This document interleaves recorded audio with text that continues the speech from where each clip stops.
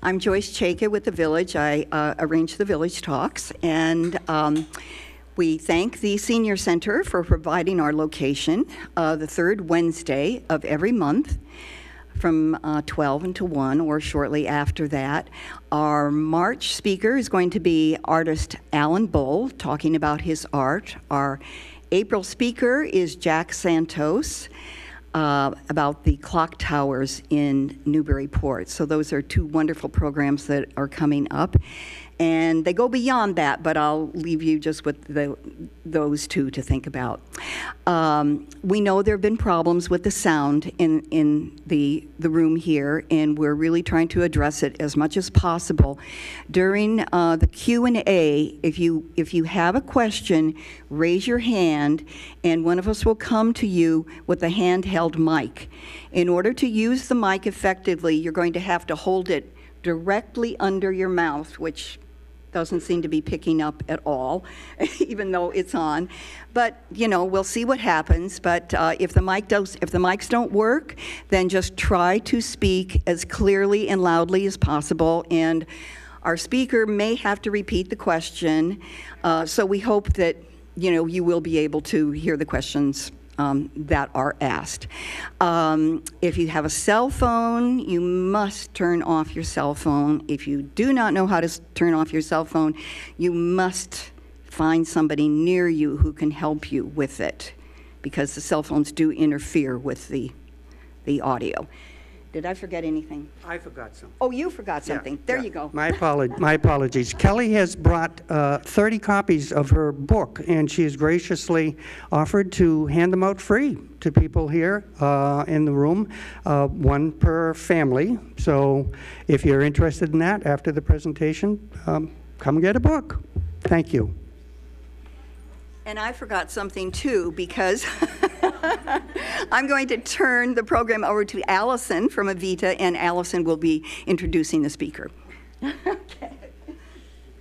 Good afternoon, everyone. I'm Allison Rice from Avita of Newburyport, a memory care community just down the street on the campus of Anna Jaques Hospital. And we're so happy to be here in this gorgeous room um, and our first experience with Village Talk, so this is great.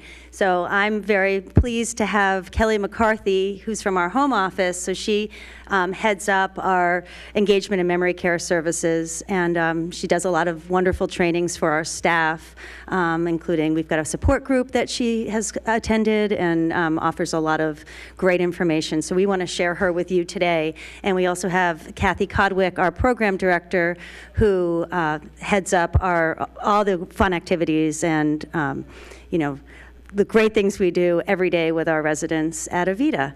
So, uh, Kelly and Kathy. Excellent, thank you.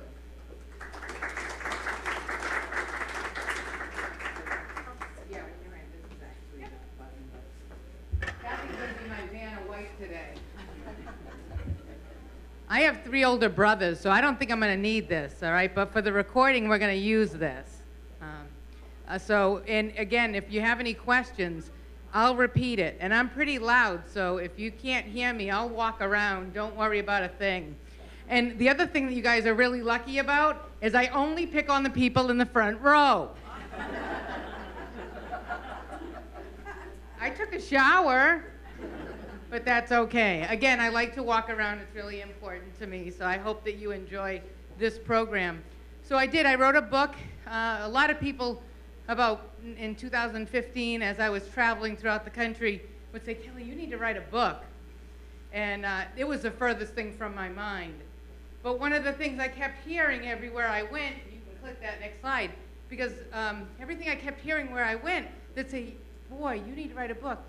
The story that people share in one part of the country, I heard in another part of the country. And if it was on Facebook, it must be true, right? So this is, these are some of the posts. I tagged myself because I wanted to see where I went. For the majority of these, except for those ones in the Caribbean, uh, this was work related. So I traveled all over the country and I learned to be not only a teacher, but a student. And so what was happening in, happening in Walla Walla, Washington with family members or caregivers, I noticed was happening in Jacksonville, Florida.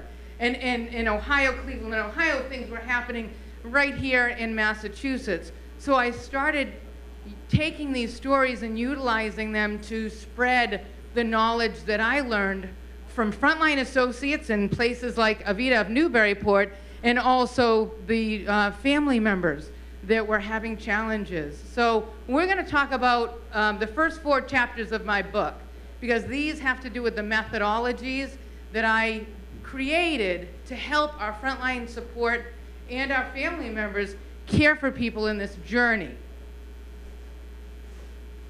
So, you hit return? There we go. Reaching for the brass ring. So the name of the book is called Reaching for the Brass Ring. Anybody ever do this before? Raise your hand. It's got a few. Okay, so um, what did you do when you reached for the brass ring? What did you get?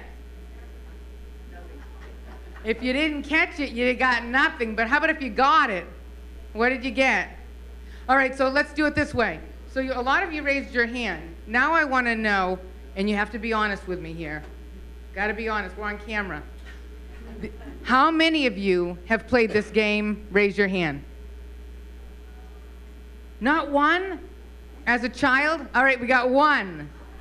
All right, so I'm going to ask her the, the next question. All right, she has to be truthful. Did you get the brass ring? And look at the smile on her face.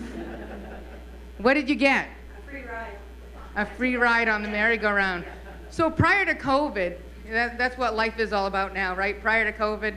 Uh, prior to COVID, um, there were 11 merry-go-rounds in the United States still active. And so as a five-year-old kid, um, you get on that merry-go-round and you want that outside horse.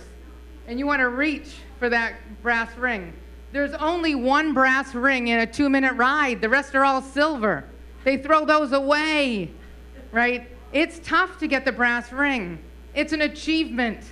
And when you get it, you get a smile on your face that lasts a long time, right? But if you don't get it, guess what? The sun still comes up the next day. And so the reason why I wrote this book and I call it I call it Brass Ring Memoirs, it's about we don't always get it right in memory care. It is not easy in memory care. But the sun still comes up the next day. And some days it's going to work, whatever that magic saying that is or whatever you do is someday it's going to work and some days it's not. And you got to we got to be okay with that right? So reaching for the brass ring, reaching for goals. That's what I talk to the frontline teams about. I talk about how how we have goals too, right? Our goals, like the goal of Village Talk, uh, the village is a Village Talk, right? Um, that goal is to help seniors, right, in our town, and that's the goal they reach for, and they get that goal. But he's, he mentioned earlier today that he'd like to have more. He'd like to do more. That's another goal. And so we reach for these all our lives. We get them, we don't, and we move on. And so that's why I call it reaching for the brass ring. And so I'll give you a scenario that I'm sure you all, if you ever have ever cared for somebody with memory loss, um, is that uh, you know how sometimes it's hard to give someone a shower with memory loss? "Do you want to take a shower?" What do they say? They know tomorrow. They, they might say, "I already took one." Or, or my favorite is, I didn't do anything to get dirty, right? So, so what happens is, oftentimes we as caregivers are so white knuckled.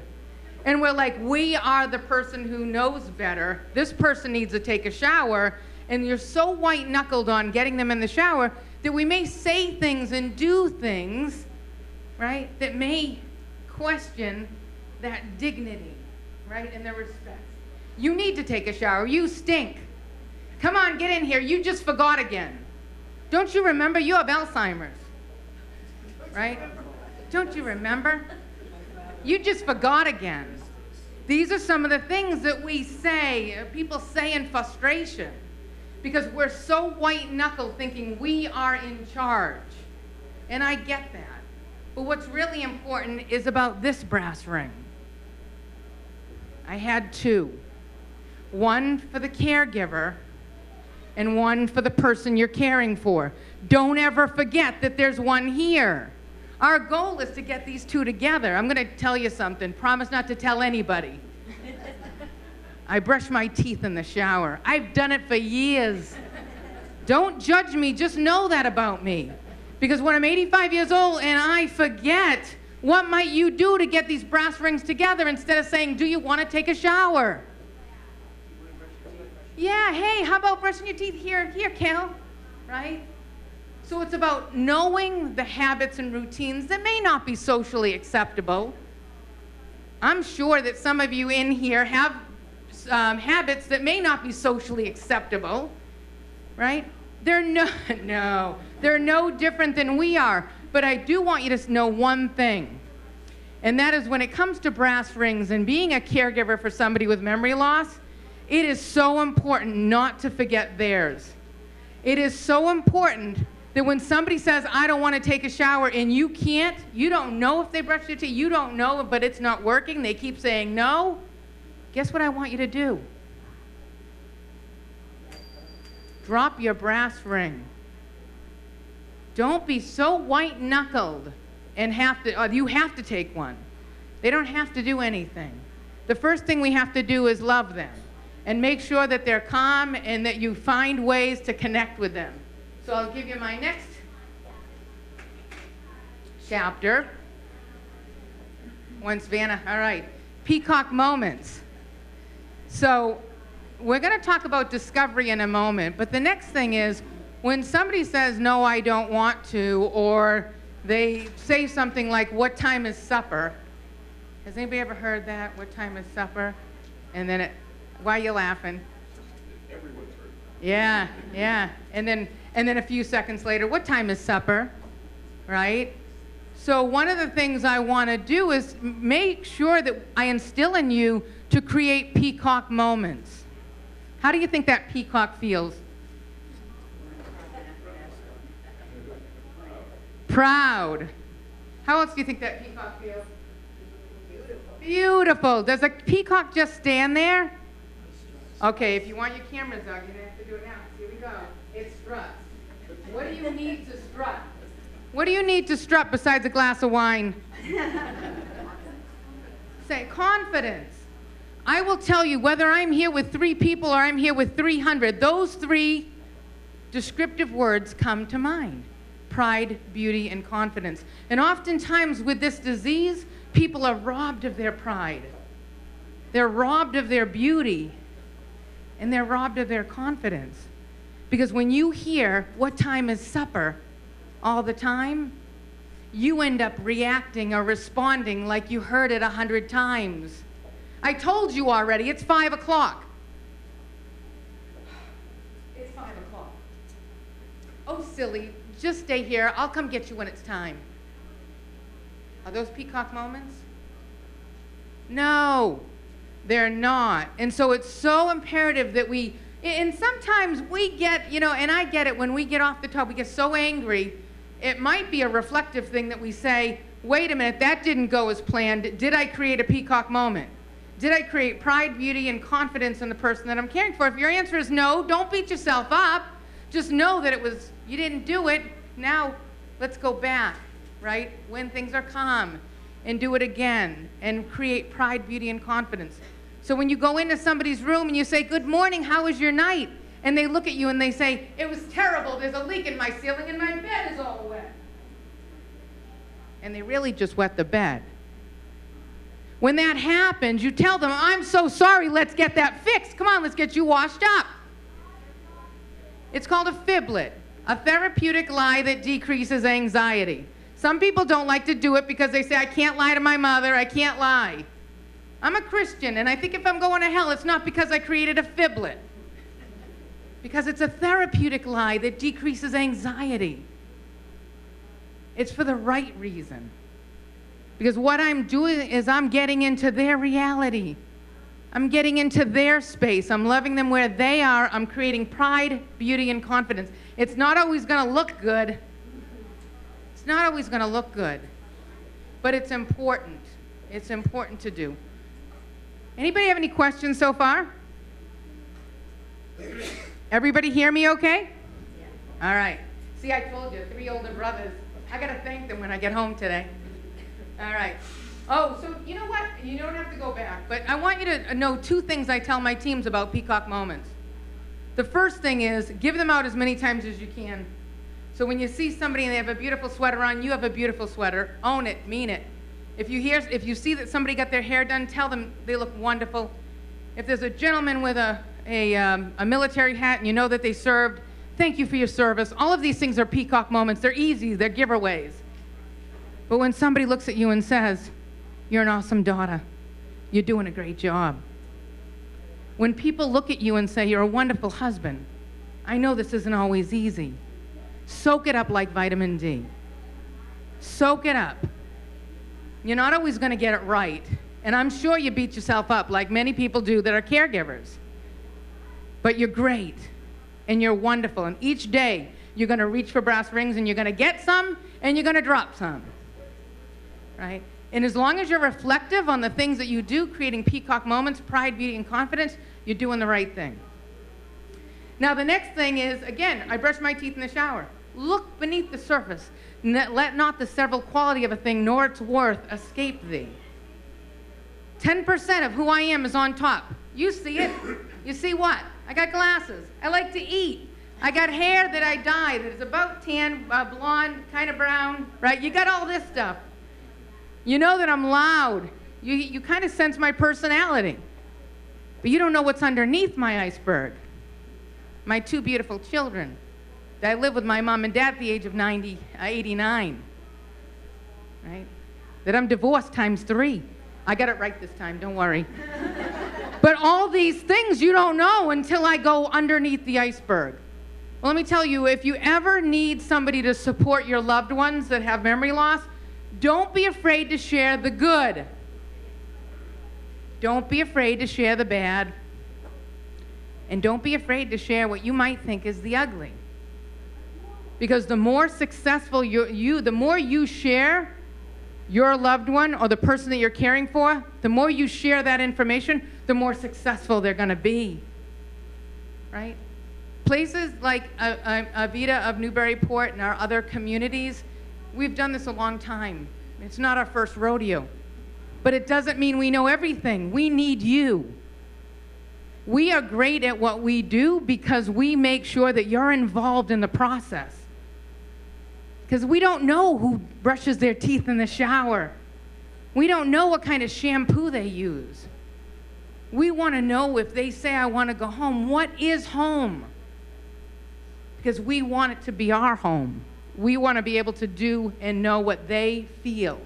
And it's important to really have that collaborative relationship. All right? So I love these slides. I threw this in. It's not in my book, but it's wonderful. And it's uh, if you ever need this as a reference, go on Google search engine and put amygdala um, bookshelf. So this is the amygdala bookshelf, um, and this is the hippocampus. I don't know if anybody's ever seen this before, but if you ever have to do any kind of education for memory care, I would say print this paper out and share it because it's absolutely fantastic. So search engine, amygdala, bookshelf. This, this is a bookshelf. It's a healthy brain. On the left side, or yeah, my left side, is um, a hippocampus, the hippocampus, which controls and supports logic, fact, and reasoning. On the other side is the amygdala. It's an almond shape. There's two of them, almond shape underneath um, the hippocampus are underneath the brainstem. And this controls and supports, it's in the limbic system, emotions, right? And so it's really important to know that that part of the brain doesn't deteriorate like the hippocampus. And it's so important because this, to me and our teams, is a game changer as the disease progresses. All right? So, healthy brain, three pounds. You can hit that. Here is early stage memory loss. This is where, in old age, we start to see signs, right? And so, again, perfect example. What time is supper? Perfect example. So again, when we look at them and we say, I told you already, it's five o'clock, we have to understand, well, wait a minute, that's not a peacock moment. What else could we say to them? Are they hungry? Say, hey, listen, are you hungry? I know where the, you know, I, I know where the kitchen is. Or maybe they're bored. Maybe it's, hey, you know what? It's, it's going to be in about 35 minutes. Let's go for a walk. We've got some time.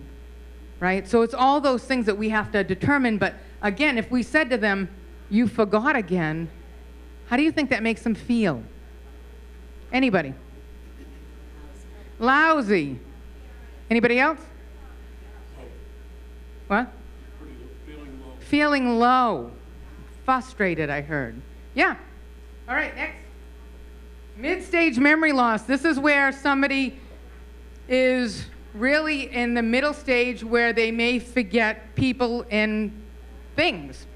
If you look here, the, you've got the left side that has childhood, teenage years, uh, middle age, uh, I'm sorry, adulthood, middle age, and old age. So if you look, all that bottom shelf is all the things that happen to us in our youth. So if you think about the hippocampus, that might be the learning, right? When mom said, hey, oh, you said to your, your mom, hey, I can count to five, one, three, five. And she says, oh, you missed a few. One, two, three, four, five. It's the learning, right?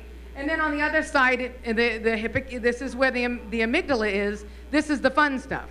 And I often think about Halloween as fun for me. It may not be fun for you. This is also the scary stuff. If anything happened in your youth that was fearful. So think about the person you're caring for and what was that experience like? What was happy? What could have been sad? Right? So me, it was Halloween. It was always fun for me. Those big candy bars, you remember, right? Yeah, they don't do that anymore. Um, so again, just that. And then if you look at this, middle stage, this is where somebody starts not only forgetting all of this, all of the things that happened in their senior years, but maybe in their middle years too. Let's say, let's give an example. Let's say a woman finds, uh, she's in a neighborhood, she, she sees this boy and they're friends, best friends. All of a sudden in teen year, teenage years, they start dating. At the age of 18, they get married right? And then they have kids. So now you're looking at the other side where they have they have they get married, they have kids. Um, you know the fun things or the challenging things that might happen, all that stuff that comes with having kids in their life. And on the left-hand side is maybe purchasing a house, right? Uh, create, having an income, maybe a profession, uh, maybe a homemaker, all that stuff that they do logic, fact, and reasoning. Now you can see that they're starting, that person, that that woman is starting to forget. And guess what? Her husband died at the age of 80, let's say 85. Does she remember his death? If you'll notice on here, all the books are off the shelf. So this is a person who can't remember short-term memory loss. Anything that you say to them, it doesn't, it doesn't hold on. In my book, I talk about an 18-wheeler, first in, last out. So the things that are coming on board at this stage really can't grasp, they really can't stay in their, this person's memory. So this person here doesn't remember her husband died at the age of 85, but remembers that she married him, remembers that they were friends, remembers all the fun things that they had on the, on the, uh, on the amygdala side. And she looks at you and says, Where's my husband? Do you know where my husband is? Do you know where my husband is? Have you ever heard that? What do you do? Because when you say to them, Ma, dad died, don't you remember? How would she feel? Devastated. Devastated. Now, listen, I'm not opposed to if a person passes, the, the bottom line is talk to family, work as a family unit, work with your team, meaning if you have the Alzheimer's Association or any type of organization that supports you, ask that question, you know, do I tell them whether their loved one passed? Um, like taxes, death is pretty, uh, you know, uh, concrete. So I tend to err and say on a small scale, you, they can mourn the loss of their loved one. You can celebrate the person's uh, life. Uh, you know, go out to dinner like we do when we talk about the person, but then take the prayer cards and put them away take the cards and put them away. Don't put them in the walker where that person may experience it again for the first time. Because if you do, how do they feel? Devastated. Or they could be angry. Who the heck are you? I had breakfast with my husband today, right? So there's a lot of emotions. They can feel angry, they can feel Uh, they can feel sad, depressed, frustrated, all of that, devastated all over again. So it's really important to, to understand that. Now look at this again. And this is end stage memory loss, but I want you to take a look at that amygdala side. There are still books on that shelf, right? Those shelves still have books on them. They have lost some of the amygdala, but the, but the feeling, right, the limbic, limbic system, the emotions are still there. So now end stage memory loss, and this is where I kind of talk to our associates or family members. If you have a loved one and maybe they're in bed a lot, and you go in and you check on them, but you don't talk to them, this shows you that they can still feel lonely, that they can still feel sad, that they can still feel isolated. When you go into a room and you consider that person now a task, and you go in and you change a brief or you wash them without saying much of anything, they can still feel violated. They can still feel scared, right? And so it's so important that when you go into a person's room in stage memory loss, that you still communicate with them. Sometimes music is the most wonderful thing that we can still offer someone, especially a song that maybe they once sang to you, right? That's where the amygdala kicks in, even at end stage memory loss. So when you go into that room and you say, Hi, you know, again, can use my name, Hi, Kelly, it's me. And you go in there, and instead of not acknowledging them, you might sing the song that they once sang to you. This little light of mine, I'm gonna let it shine. This little light of mine, I'm gonna let it shine. She can still feel love. She can still feel safe. And one of the most important things, she can still feel like she belongs. Right? So important. And that's why I love this slide deck because it really instills in us that as we communicate, and sometimes it's hard, people say, Well, what do I do when I visit mom? Sing the song that she once sang to you. Sing the song to your husband that you danced to. Right? It's so important to connect in that way. That amygdala is still alive. Any questions? Okay. Why self care first? So let me tell you. So, this, again, I, I did this strategically backwards. So, this is my first chapter, is taking care of yourself. Now, I left it here because we only did an hour. I actually do, uh, 30 minutes actually. So, I only do, um, when I do an eight hour class for, my, for the associates in our communities, I start with this one first. In my book, you'll see this is chapter one. Because in a lot of trainings that you see with memory care, you often see that one where? Where do you see self care in a big training? What the heck? We're exhausted by then. What do you mean putting us last? Right? So, like I said, I traveled for a living.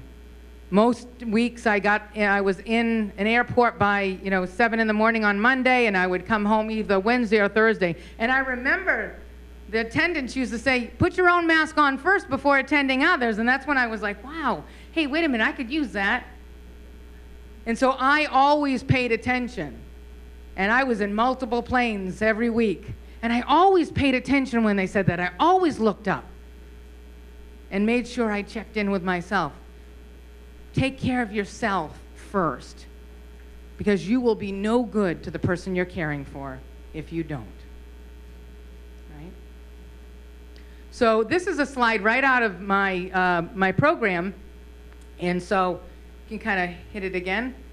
What if every day you felt emotionally strained? I mean, COVID did this a lot to our frontline associates, right? It was, um, they were so dedicated. If you saw these uh, communities and hospitals that said heroes, we really meant it, right? It was so, uh, so hard for them. But overwhelmed, working too many hours on your feet, didn't have enough time to eat right, felt the need to continually um, correct someone. So during COVID, we identified videos and Zoom, right? We all did Zoom to make sure that we were still touching our frontline associates for education and support. It was so important to do. And so, same thing with you all. Make sure you take care of yourself and that you eat right. Those are the main things that we think about me eating right, sleeping right, um, and, and the like. But how about those hobbies that you may have that's independent of somebody else? Anybody want to share a hobby? The only thing it has to um, meet my criteria is it has to be legal in all 50 states. Anyone? What's a hobby? Yeah. Stamp collecting, perfect. Quilting. I love that. I'm a lefty. Could you try? Teach me? No. I know. Glue gun, that's all I got. Who else? Knitting. Knitting. Knitting. Wonderful. Hey, I can hook you two up. Good. Excellent. And so these are so important. If you have one that you think about that you did a long time ago, get back to it. Get back to it. Fill yourself up. Do those things that are important to you. Because caregiving is not easy. It is not easy. So here's an oath, and, and there are many oaths if you Google caregiver's oath. I figured, well, I'm writing a book, I might as well make my own oath. Uh, so thinking about all the experiences that I've had, I kind of strung together some, together some things that I heard family members and frontline associates say. So the first thing is, and you guys can help me by reading along, that would be wonderful. One is, I will say yes when somebody offers help. Why sometimes do we not do that, right? Somebody says, Do you need any help? What do you say? Look at her. She's already, no. Listen, I, I'm the daughter, three older brothers, I said. Guess who takes care of the parents? Yeah, Right? And, and I had a hard time with my brothers. I still have a hard time, but I've got one who took, took a plane up here, and now he lives with us, and he's the sole caregiver uh, personally for my dad, driving him around, doing things, and I support my mom. But it took a long time for me to say yes. I didn't want to say yes. I don't know why. It was like I was programmed, I'm the baby, I'm supposed to do this, right? And, and so please um, ask for help if you need it. And again, this wonderful service here and many others, uh, the Alzheimer's Association and the like. I will forgive myself when I don't get it right. Right? Some days you'll be like, wow, this was great. And the other day is like, oh man, right? It can be a roller coaster. So forgive yourself. Identify was it a peacock moment, wasn't it? I will reach for my brass ring and do the best to reach for the brass ring of the person I'm caring for. Get to know them. What are their routines and habits? What do they like? Right? Think about how many pillows you sleep with. And think about if you got the worst pillow in the world, opposite of what you sleep with right now. How would your first night's sleep be? Right? So those things are so important. And we go that deep when we have people come into our communities because it's about knowing what their favorite things are, what their shampoos are and conditioners and all of that stuff. I will live in the moment yet plan for the future. That's huge.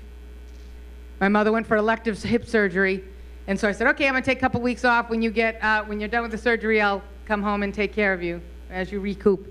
Well, guess what? She got an infection, and I had three days to determine what sniff she was to go into. Sniff, skilled nursing facility. I was mortified. She didn't have to go. I'll do it. No, you can't. Right? And so I, at that point, realized that, listen, I have a plan for my folks, but I also need to plan for the future. Right? So live in the moment, yet plan for the future, whatever that looks like, because it may change. I will find moments in the day to self reflect and not feel selfish in the process, in the meanwhile. So, again, those things that you like to do, uh, think about the day, how did it go, but also take time out and, and process hey, did I do what I needed to do today to take care of myself? So important. Next. I will pay attention to my health and follow up with challenges right away. Don't cancel appointments because you blink and then it becomes a year later. Right? I never cancel a doctor's appointments. I only postpone them. I no, I'm telling you it works. If you cancel appointments, you blink and then th- 4 months later you're like, "Oh man, I got to go back. I got to make that appointment." I never cancel appointments. I only postpone them to another date. so then I get there eventually. But it's important, whatever works for you. I will provide and accept peacock moments which create what? Absolutely. Confidence. I will laugh appropriately in public and give myself permission to laugh in private, maintaining the dignity and the respect of the person I'm caring for. What does that look like? Another book out there I really like, it's called Kisses for Elizabeth. It was written by Stephanie Zeman. And uh, old school nurse. And I talked to her once, and just wonderful, wonderful woman. And she talks. She talked just about that. She talked about making sure that you, the person's safe, but making sure you laugh when it's funny, but making sure that you laugh in private if it's if it's not funny to that person. Now you're not going to laugh at them. It might just be the situation. So I'll give you an example. I had a woman once, and I looked at her. I said, "You have the most beautiful eyes." And she looked at me and she said, I wouldn't know. I stand behind them. oh my gosh, how profound was that? Unbelievable. And so there are things that people say that can be very funny, and they may not think it's funny at the time. So again, give yourself permission to laugh, because sometimes you hear funny things, right? It's important. Um, I will respectfully share what is under my the person's iceberg to support the caregivers who are helping me. Again, if you know something about someone, share it, because you can't do this alone. And if you're doing it alone, again, it's, it's so much stress to you as one caregiver. I will draw strength to, for what I believe. I, uh, let me repeat that. I will draw strength from what I believe to be my belief system, right? Deem my belief system. So, regardless what religion you are, what faith, or if you believe in nature and Zen, make sure you go to that space when you're not doing well. Find strength in what you believe in, regardless whether it's a religion, a faith, or nature. It's so important to get there. And that's it for the first four chapters. I have other chapters in my book on communication, uh, behaviors. I use that term, loosely. They're neither good or bad. It could be, again, I have a behavior, I brush my teeth in the shower. Um, but I also have one on sex. Um, there's one on I want to go home, right? Because one of the things as I was printing the book and it was getting published, I had to stop the presses and I added chapter nine, which is I want to go home. I've heard that in every state. And, and not just in communities, but actually people telling me that when they're home with their loved one, they're saying, I want to go home. So we talk about home isn't necessarily a place, it's a feeling, right? And so identifying that feeling is so important when you're caring for somebody with memory loss. So I want to thank you so much. I'm happy to um, sign the books if you'd like. We can do that in a little bit. But what I wanted to do now is pass over with Kathy. Kathy's going to talk about a program that we do in our communities called Join My Journey.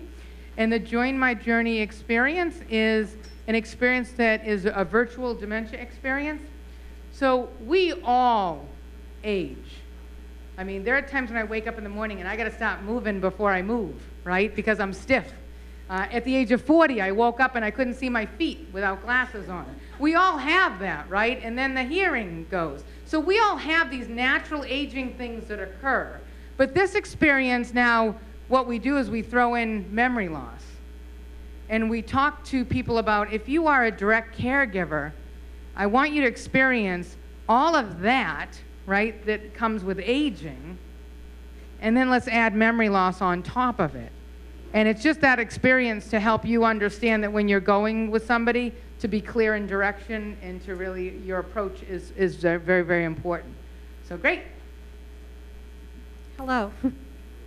um, yeah. So um, I'm going to invite anybody up here that wants to do this. It's a virtual dementia experience. Uh, dementia affects all of your senses, your sense of sight, your sense of touch, your sense of smell. Um, and I would like to invite somebody up here that would like to experience it. And this is something we do as part of our training for new employees so they can know what it's like um, in, to live in the world of our residents. And I've also offered this as part of our family support group for families to experience too. So would anybody like to come up and participate? Isn't that great? Just come on up. Come on up. So, there you go. Awesome. So, Okay. when she does this, what I'd like to do, Kathy, if you don't mind, is I'd like to talk about some of the things that she's going to do. Can I, may I? Sure. Because you're going to be busy over there. So, what, what's your name? Steve. So, St- what Steve's going to do, thank you so much for being the, um, the, the victim, I mean, the.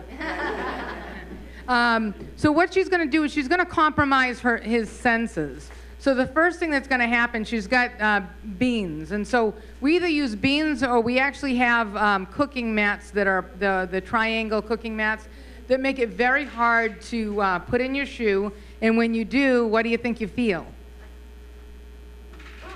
Bumps, right? So if you think about neuropathy, right? You think about pins and needles in our feet. You think about um, the challenges we have with arthritis. 65 percent of individuals over the age of uh, 85 have some form of arthritis.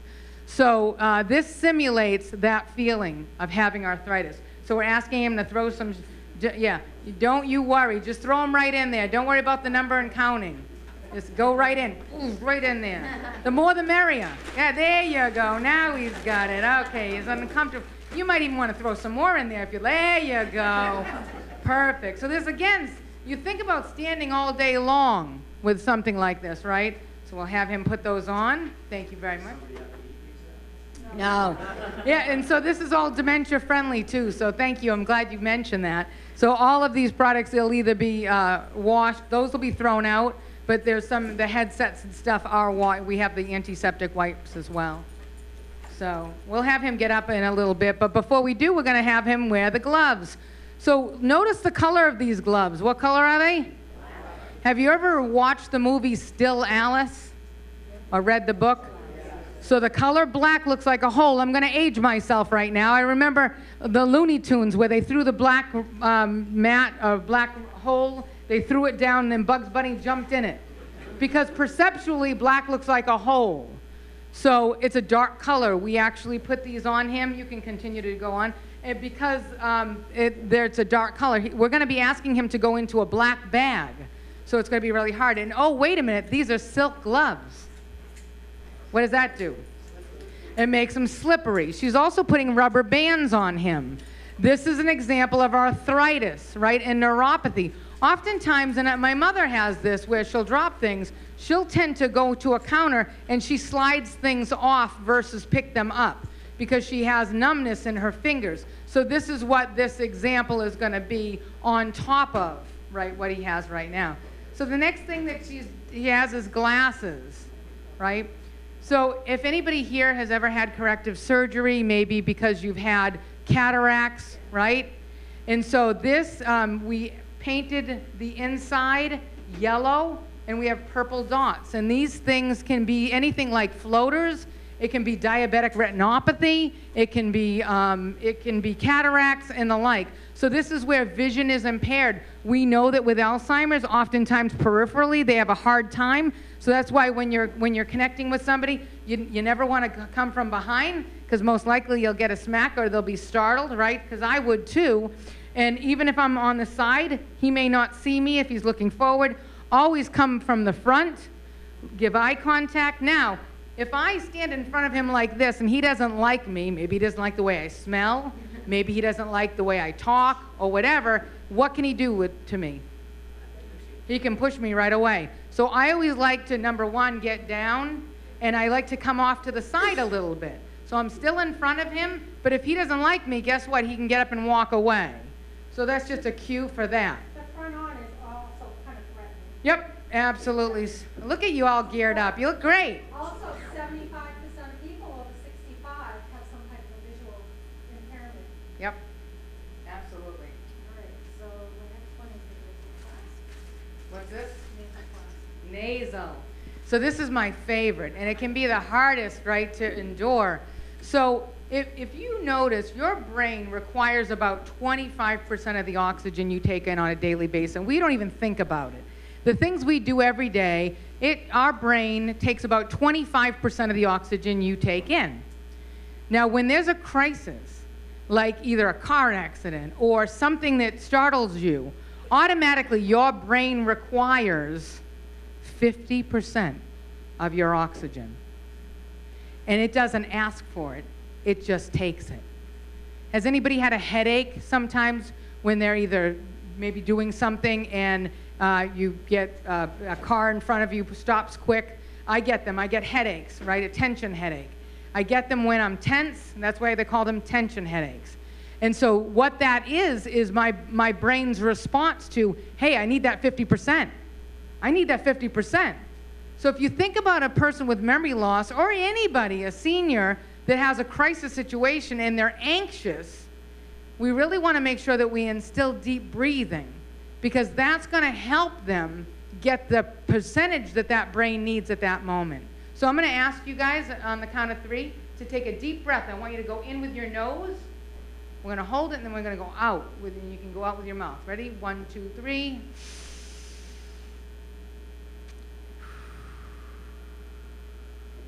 Let's do that again.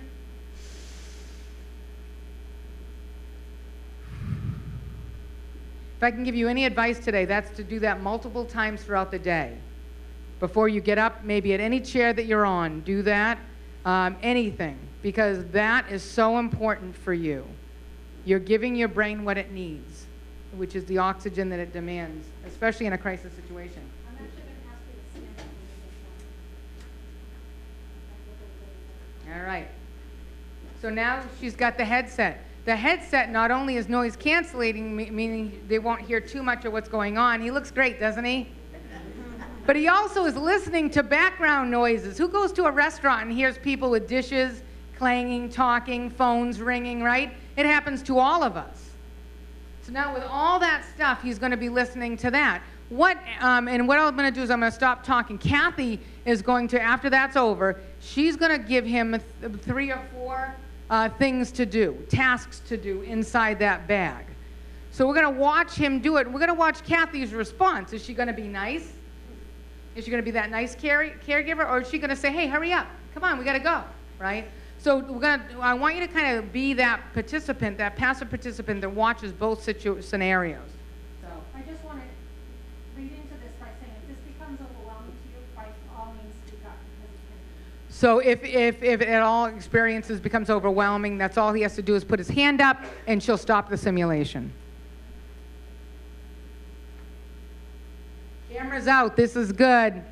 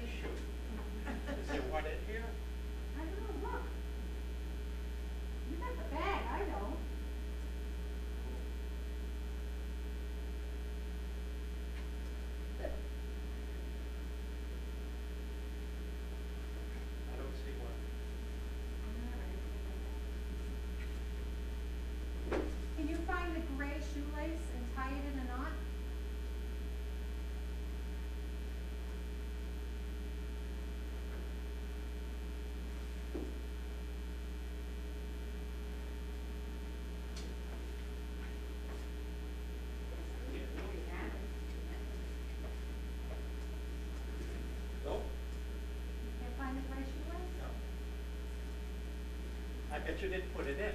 I put it in. Ah.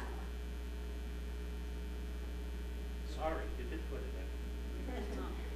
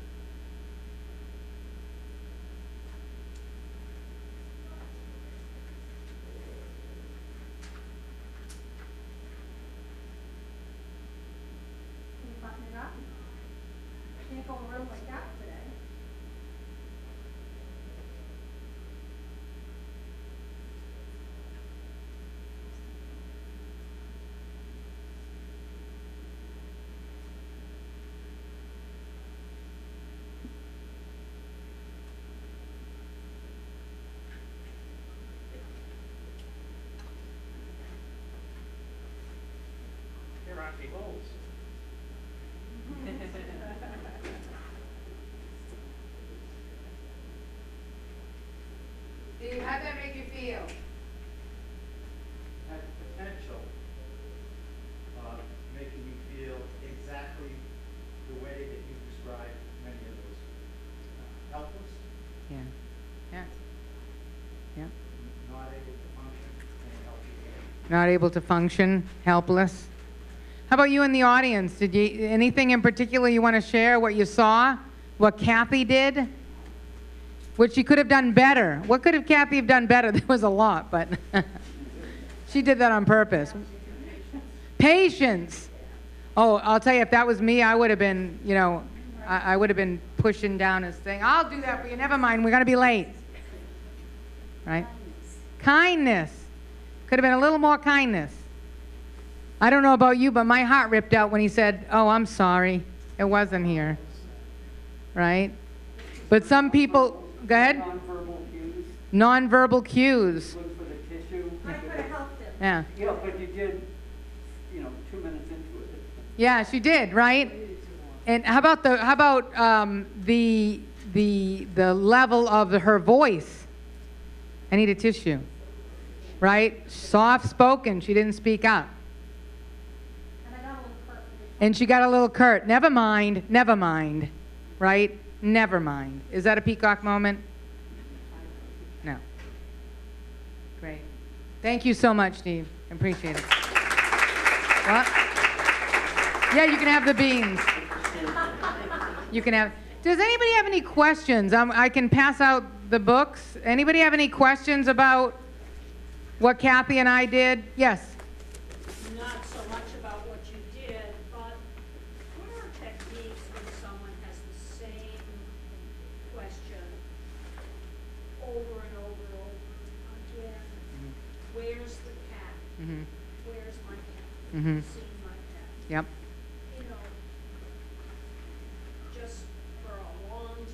Yep.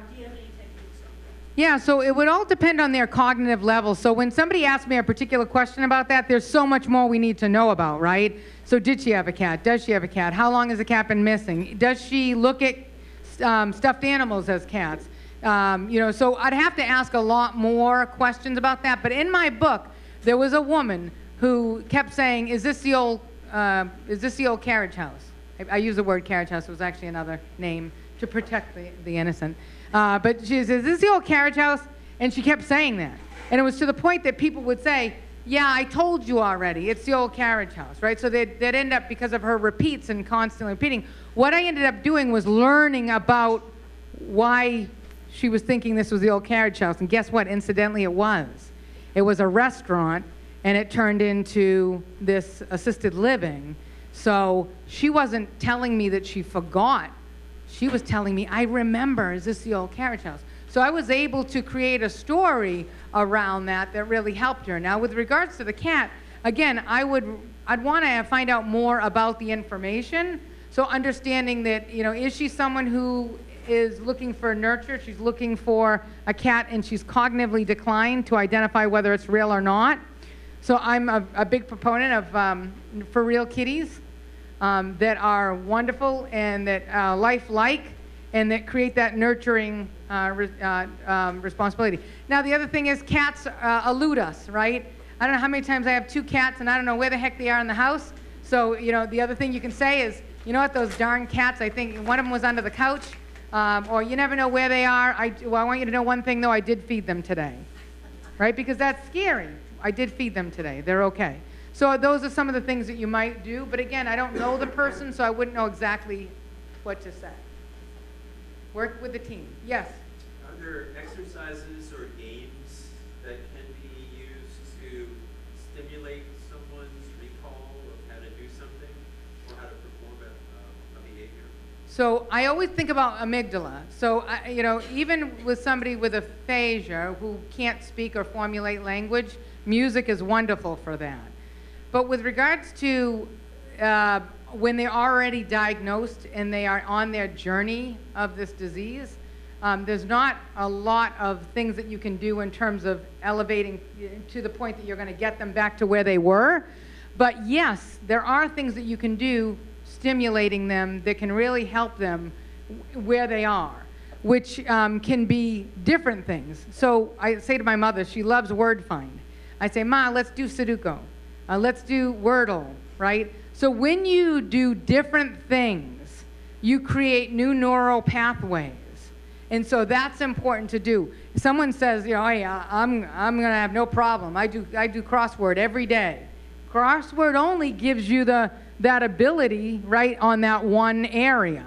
You need to do the multiple areas in your brain, so doing multiple uh, things. And also, not only that, um, think about the way you put your shoes on. Think about the way you, you, you, you pull out of your driveway, you take a left. Hey, if you can get to the same location by taking a right, take a right instead. So that's just creating new neural pathways on where you're going. It creates you to start thinking a little more. Yeah. Yeah, so I mean, they're out there, and I would also, I'm not a doctor, so I would say to, to um, you know, to work with your doctor on that. You know, currently, there are no cures, treatments, or preventions. Currently, is what they're saying. There is hope, right? And so there was a med that was that just recently came out that they were thinking was, but then it wasn't as great as they thought. But there is hope out there. And so I think that just like with heart disease, and heart disease actually um, has declined because people know sleep good, eat well, exercise. Well, guess what? That's also going to help you on the brain side too. And make sure you breathe in between everything. So those types of things are important. Yes. My daughter had vascular dementia. Mhm. And she, on my dad's side, she always recognized family members, which was a middle class. But three things that we did that seemed to really help was, one, bringing in photo albums of the younger years. And she would be able to, you know, name everybody, and it was a real nice visit. Yep. Thing was she loved Perry Como, so I would always. Oh yeah. Perry Como, she says. Bring up Perry Como. Yep. And then pictures. Yeah, Yep. pictures and, and music, and then the third thing from her, she brought up seven kids. One of my brothers had the wonderful idea of buying her a baby doll that really Yep. looked like a baby, Yep. that she was never alone. Yep. that baby. And that's like the FurReal kitty too. That's the nurture nature uh, aspect. So don't be afraid to do that. I remember when I first came into this industry, a family was mortified that their their mother was carrying a baby around, and I'm like, yeah. eh, Be open-minded to the fact that she's finding that she belongs, like there's a there's a love, and so you can buy the $200 baby. That's okay. Realistic $200 baby. That's the only thing I'm going to say to you is that I have found great success with a baby at Walmart from, for $888. And the biggest thing that you have to pay attention to is the eyes have to open, have to close. Don't get a baby with their eyes constantly closed. I had an experience with somebody who had a SIDS child, and they had a catastrophic reaction because that baby looked like it was a SIDS baby every time she had seen it. So again, eyes open, eyes closed, 888, Walmart, they have the man, the boy and the girl, uh, and that definitely works. So thank you for that. And vascular dementia is the second leading, leading cause of, of memory loss. My mother had vascular dementia, but it was um, intermittent, it wasn't always predictable. Right. But anyway, um, one time she asked me, like, I'm I'm getting to the Bidwoods part, because it really- this still bothers me. Um, when I got out of the shower one day, and my mother said to me, um, where's dad? Yeah. I found him dead, I was in and I said, "Should he, he left, she said, he left uh, an hour ago and he's not back. So I said, well, he said Home Depot. Home Depot. He'll be back though. Yeah. So then I went in the room, got changed, and my mom goes, you lied to me. Yeah. She said, don't ever lie to me again, yeah. promise. Yeah. So she kind of put me in a pickle there, because there were times where I had to say pickle. Well, that's why it's important. So, as someone progresses in the disease, when they're newly diagnosed and as they progress, if they catch you in a fib, that's not good. It, it de- definitely, and, and so thank you for sharing that with me because fiblets are good when they're good, but they're bad when they're bad. so, it, when you a fiblet works, who do you tell? Everyone. You tell all the caregivers. When a fiblet doesn't work, who do you tell? Everyone, right? And so that through that process, when somebody's early on in the disease process, you definitely can run into that. And that's when I say to them, I run myself over with a bus and say, I'm so sorry. I didn't know what else to say, right? And so acknowledge that, talk to them about it, because there are moments, right? That if you've read the notebook, there are periods of lucidity. So you'll know your loved one best, but there are times. I had a gentleman who knew his wife had died 11 years ago, and he looked at me and said, Where's my wife? The, the, uh, one day. And I said, you know what, it's 8 o'clock. She said, um, I, bet she went to school. I knew what was under his iceberg. I knew that his wife was a school teacher. And so right away I told the nurse. We pulled a urine to see if there was anything going on. There wasn't. So he was in that natural decline. But yeah, it, I call this the snowflake disease, right? Everyone's different. And as you had mentioned with um, vascular, Alzheimer's and many other diseases that create memory loss are like this. They have a gradual decline. Vascular's not. Vascular's more like a staircase. And so it can it, things can happen very differently. They can wake up and you know a, because they had a little stroke or a TIA, they may be incontinent. They may be they might have um, well, like I had mentioned aphasia where they have a challenge with formulating language. Yes. I had, I just want to share a story because I had a resident that was similar to your mom, and I knew a fiblet might not work for her. So she, it, she had a moment that she was saying, that I want to call my husband. So I sat with her and I said, tell me about your husband. And what a wonderful, where did you live? And what does he do for work? And she talked and she processed with me and then she said, but he had cancer and he died. So I, I came out without me saying that. to That's a her great in more experience. gentle way- In a more gentle way, but I had the time to process that with her. That's great. Yes. That's a great question. And so she asked, what's the question, what's the difference between Alzheimer's and dementia? So if you think about it, I'm going to go back to COVID. What's one of the symptoms of COVID?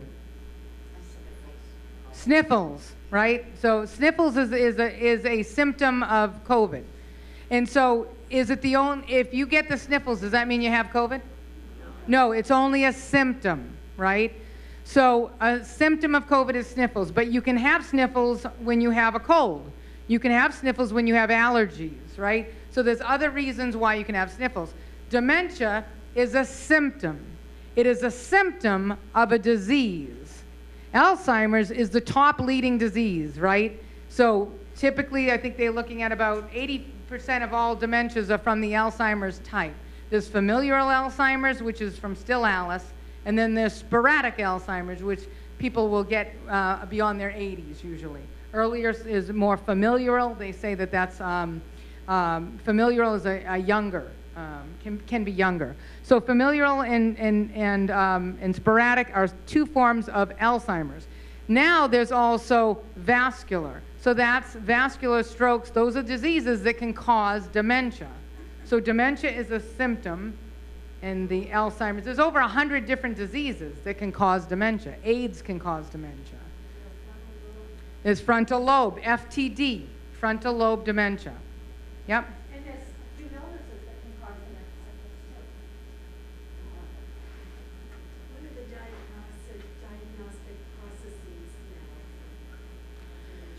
Yeah, so years ago it used to be, you know, through an autopsy they could verify 100% whether or not someone had that, but today with the advances in medicine, PET scans and the like can determine um, uh, these scans with color differentiations in the brain will identify where, so frontal lobe and the like. So they can absolutely determine a diagnosis of some form of memory loss with these scans now. Great questions.